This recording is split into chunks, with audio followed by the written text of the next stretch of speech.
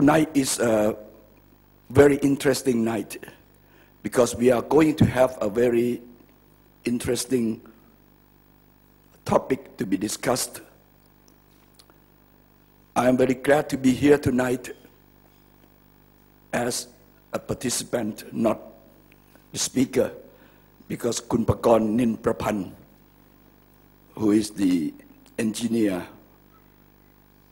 of the Licensing Facilitation Act, will be the speaker and the main actor for, for tonight. Unless you have any question concerning the Constitution, I will join it later. I said the topic tonight is very interesting and very modern because it's the new law. Its name is the Licensing Facilitation Act. It was published in the Royal Gazette in January this year. And it will come into force in the next couple months. Well, actually, in July. This law will facilitate your doing business in Thailand.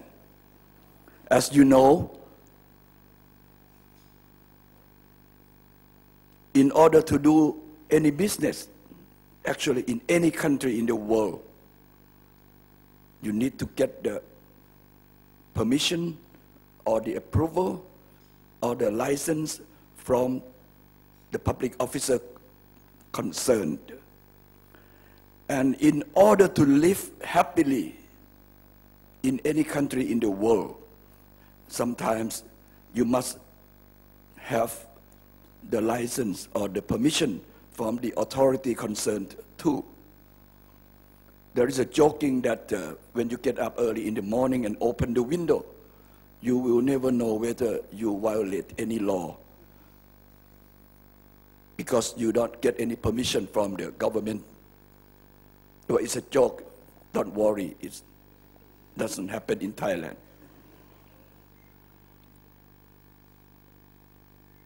When I said the Licensing Facilitation Act, it's the law aiming at the facilitation of the licensing.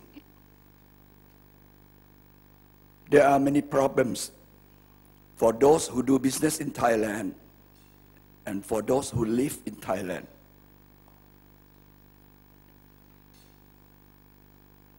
Somebody told me that there are at least 500 laws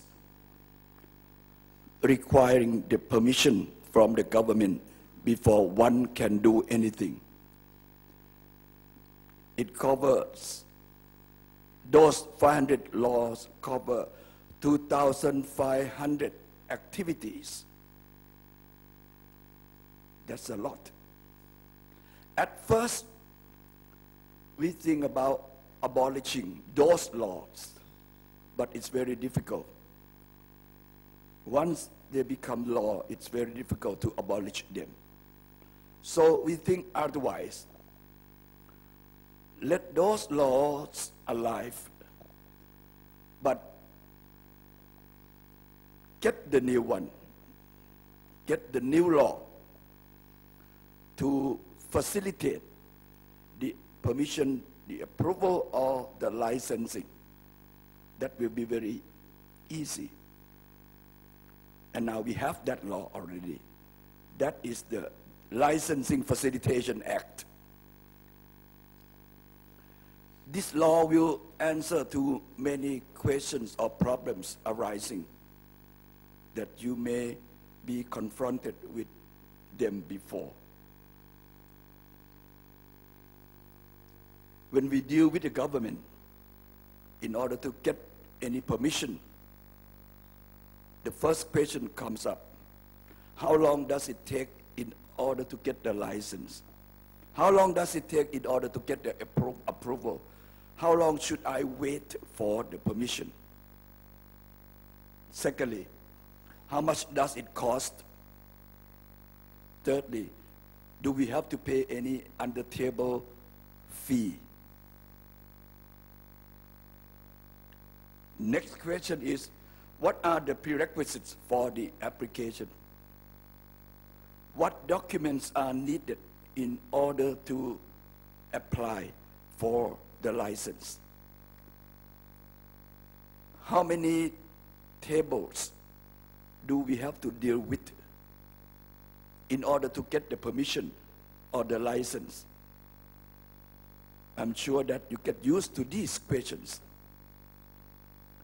Now, the answers to all these questions are within this law, the Licensing Facilitation Act.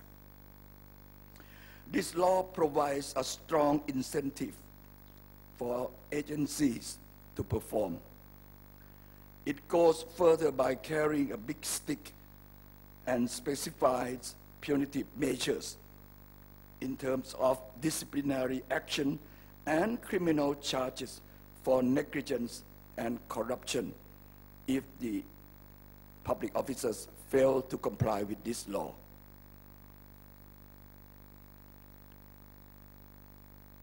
The question is, who will be the first challenger? We are waiting for that. Probably one of you here will be the first challenger I can expect. Khun Pakorn Nilprapunt as the engineer or actually he is one of the first